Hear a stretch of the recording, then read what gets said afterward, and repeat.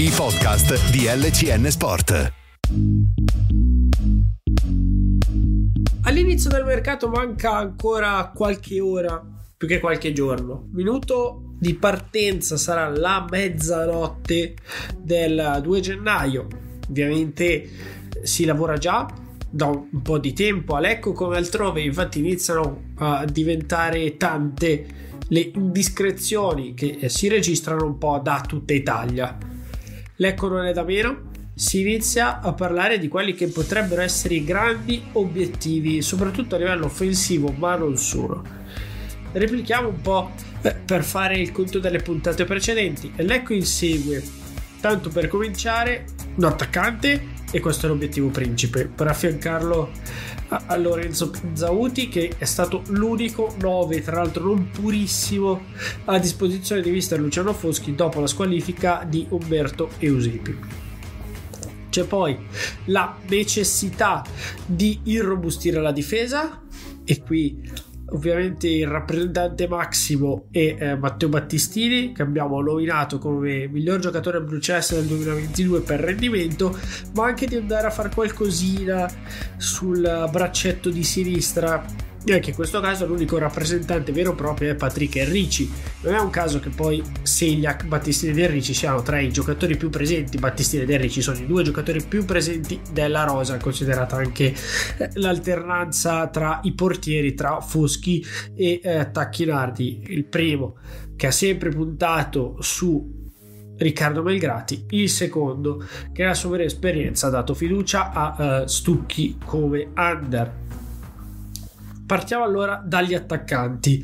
Tuminello è l'idea, un'idea, l'indiscrezione è quella che porta a, a questo giovane giocatore che eh, ha avuto una carriera in cui anche sfortunata. Lui era eh, riuscito a mettersi in mostra in Serie A con la maglia del Crotone, giocando poco, 6 partite e segnando 3 gol. L'Atalanta aveva deciso di puntarci Purtroppo per lui c'era stato in mezzo anche un infortunio al legamento crociato che l'ha privato di quasi la totalità della stagione 2017-2018.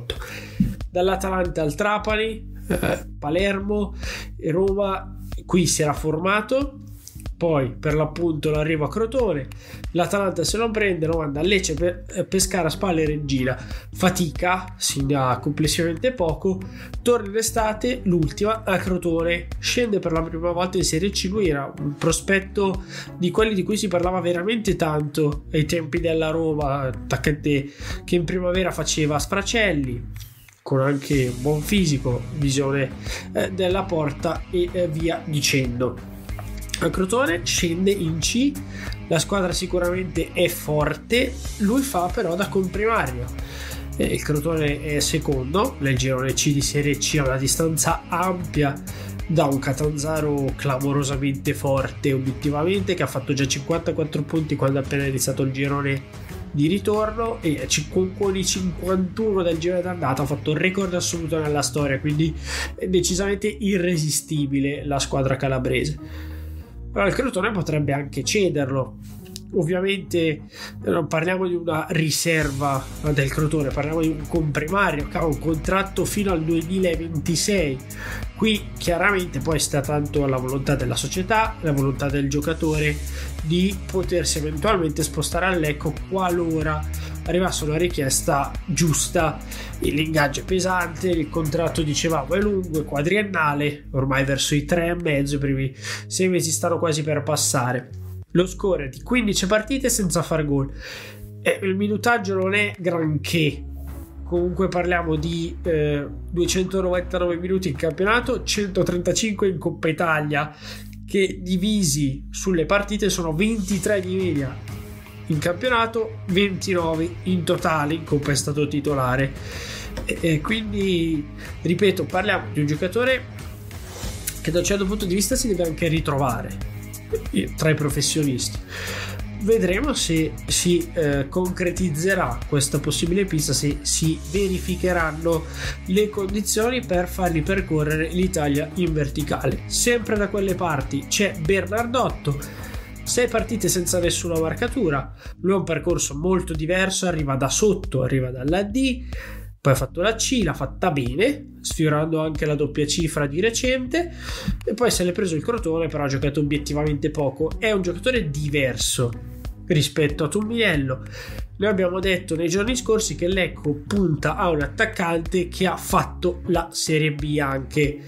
Ecco, sicuramente Tumminello rispecchia questo profilo. Bernardotto no, però sappiamo anche che non è ancora iniziato il mercato, quindi ci sarà un mese quasi pieno da riempire, praticamente un mese da adesso giù di lì, quindi sì, eh, bisogna anche costruire le piste alternative. Sempre per quanto riguarda il reparto offensivo, un altro nome è quello di Davide Voltan, è un 27enne in uscita dal Suttiran. L'anno scorso ha fatto una buona stagione, segnando 6 gol e distribuendo 3 assist in 25 partite di campionato. Quindi un rendimento di un certo tipo, inserito in una squadra come quella tirolese che tutto faceva meno che impressionare dal punto di vista della produzione offensiva. Però c'è stato un periodo, quello a cavallo tra giro di andata e giro di ritorno, che ha visto Voltan veramente grande protagonista della squadra di Avorcic. Una delle sorprese di questa stagione ha dato i gol che magari non riusciva a dare Casiraghi in quel momento lì. quindi, insomma, un elemento interessante, giocatore offensivo, sulla carta trequartista barra seconda punta, evidentemente diverso da quello che è il profilo cercato ai Blue Chelsea. Questo lo ripetiamo anche per completezza di informazione. Per quelle che sono le caratteristiche, Tulminello è sulla carta il profilo ideale. Diversi Bernardotto e Volta. Ripeto ancora, le piste alternative poi vanno sempre valutate. Non credo che Lecco andrà a cercare un giocatore da prendersi a titolo definitivo perché comunque poi a luglio Pinzauti ed Eusepi ci saranno. Quindi si può puntare anche su un giocatore da rigenerare per sei mesi che possa arrivare con fame e con voglia e dare il contributo alla causa per eh, rilanciarsi e poi mettersi in mostra dopo magari qualche mese così e così.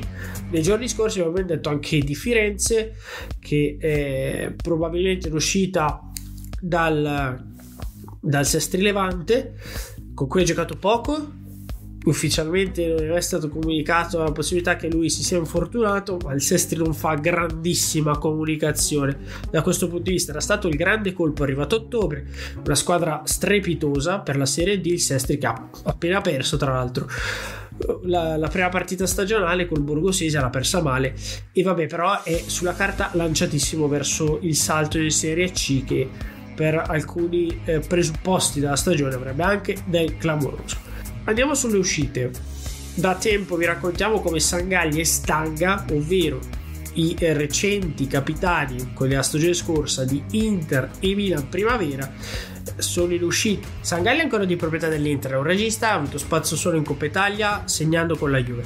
Stanga invece è di proprietà Blue Celeste, ha un contratto fino al 30 giugno 2024, quindi poi bisogna andare a capire le formule eventualmente di trasferimento che Sangalli possa tornare all'Inter e essere destinato altrove è una strada anche facile da attuare. Stanga invece eh, rappresenta anche un patrimonio della società blu celeste quindi va eh, anche valutato eventualmente appunto eh, la modalità di cessione però anche uno spreco tenersi un 2002 in rosa senza farlo mai giocare ha giocato poco Rossi sulla fascia sinistra. Francamente, su questo aspetto abbiamo anche espresso le nostre perplessità. Un giocatore diligente, comunque, al quale si poteva concedere sicuramente qualche minuto in più perché demeritato mai, non ha mai impressionato, è vero, però comunque il suo l'ha sempre fatto. Poi c'è tutto il blocco prosesto, Scapuzzi, Maldini, Pecorini, arrivati e criticati, lo sappiamo, via dicendo, non ci torniamo. Scapuzzi aveva estimatori in estate, il Sant'Angelo Lodigiano era uno di queste. Il Serenio di recente a novembre si è preso Jacopo Colombo come DS e evidentemente se vuole fare un girone di ritorno tra tutte le mille difficoltà che ha la società Seregno un po' arrembante per andare a conquistarsi quantomeno la salvezza eh, sicuramente parliamo di tre giocatori che per la Serie D potrebbero anche dire la loro Scapuzzi in primis che eh, sicuramente è stato anche capitano a sesto quindi possiamo immaginare anche un certo tipo di comunione di intenti con Colombo. Vedremo se sono rose fioriranno. Capitolo giovani abbiamo Longo e Berra che ha giocato Berra mai infortunato anche a lungo Longo poco quindi lui eh, evidentemente potrebbe essere in uscita se ne parla da tempo. In estate poteva già tornarsene all'Arconatese in prestito a fare ancora un po' di eh, esperienza. Lui che l'Arconatese ci arrivava e ha fatto bene al primo anno in Serie D. E occhio perché me l'avevo scritto anche su lcnsport.it Scapuzzi Magni sono elementi che evidentemente con l'arrivo di una punta potre, sicuramente avrebbero, non potrebbero, sicuramente avrebbero spazi molto più ristretti, già oggi sono tutt'altro che larghi. Che rimangano tutti e due con l'arrivo di un centravanti ci pare francamente impossibile. Quindi poi anche su Magni noi una porta ce la teniamo aperta. Situazione contrattuale, 30 giugno 2024, lui abita a Lecco, è cresciuto a Lecco, si è formato anche a Olginate, quindi insomma è da questo punto di vista anche un giocatore locale, però comunque con Foschi ha giocato poco e ha convinto poco perché tipo di giocatore lo sappiamo che senza tanti minuti fa veramente fatica ad incidere. La necessità però qual è? E lo diciamo anche questo da tempo. Ottimizzare per forza la lista lo richiede 24 giocatori e un 2003 che eh, si può andare ad inserire come jolly, mettiamola così. Quindi è uscito pure, è entrato Martorelli, quel posto è bruciato, tra virgolette, dal punto di vista numerico quando si riapriranno le liste appunto il 2 giugno. Ci sarà Tordini da rimettere dentro ed è evidente che dal punto di vista numerico ci saranno dei giocatori che dovranno andare senza un lungo che esce può esserci un Tordini che entra senza lasciare fuori Longo, senza estromettere Longo dalla lista. Questo per fare un discorso matematico sui due giocatori che sono pari ruolo. Quindi sarà un mercato di ottimizzazione, dovrà essere per forze cose un mercato di ottimizzazione, ma che evidentemente dovrà puntare anche a preservare un gran gruppo che si è formato, che sta tirando la carretta da mesi, mesi, mesi riuscendo a raggiungere dei risultati straordinari. Ottimizzare con giudizio, quindi senza andare a stravolgere, magari inseguendo nomi altisonanti sì, che però poi sul periodo medio, quello del giro di ritorno, non eh, riuscirebbero a dare il loro contributo, quello che tutti si attendano per alzare l'asticella.